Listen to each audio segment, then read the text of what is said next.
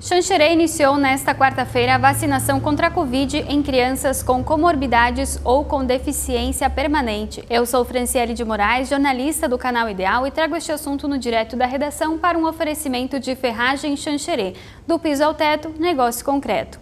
Bom, nesta quarta-feira, dia 19 de janeiro, está acontecendo a vacinação contra a Covid em crianças de 5 a 11 anos que possuem alguma comorbidade ou deficiência permanente.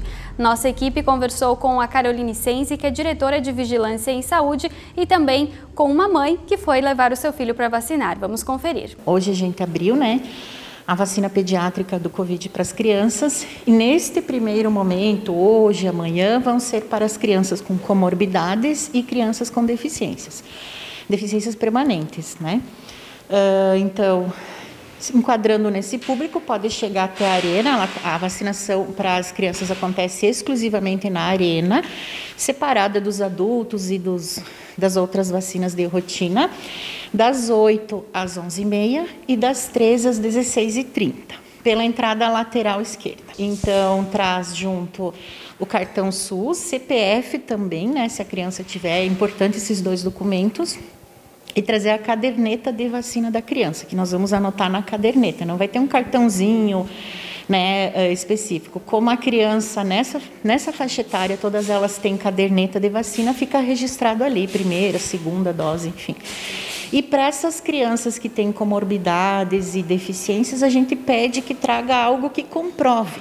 Né? Uh, pode ser um laudo médico, um atestado, uma receita não precisa ser recente, pode ser algo que comprove só o, o problema dela, né? Então a gente recebeu 270 para iniciar a campanha e sabemos que vamos estar recebendo mais no decorrer da semana. Conforme vem mais doses, a gente abre para mais públicos. Está mais do que comprovado né, a importância da vacinação. Já estamos exatamente há um ano de campanha né, de vacina do Covid. Uh, a gente notou grandes resultados. Temos um aumento de casos de Covid? Temos, mas todos eles casos leves. Né?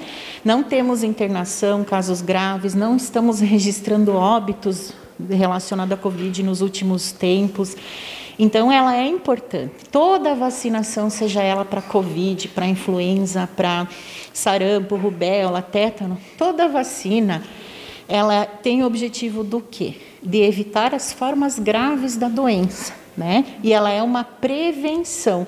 Então é isso que nós temos que pensar, prevenir antes que a doença se instale. E se porventura ela venha se instalar, ela representa um caso mais leve, né?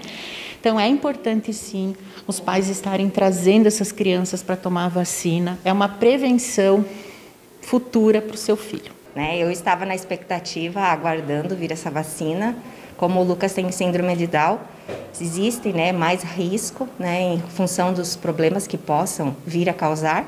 E com muita alegria, né, com muita alegria, é, existe né, esse medo com relação ao que os efeitos da vacina poderiam causar, mas eu tenho mais medo do que o Covid pode causar. E confio na medicina e confiei e se Deus quiser, vai dar tudo certo. Conforme Xanxerê for recebendo novas doses da vacina, será aberta a vacinação por faixa etária. Este foi mais um direto da redação trazendo informações para você.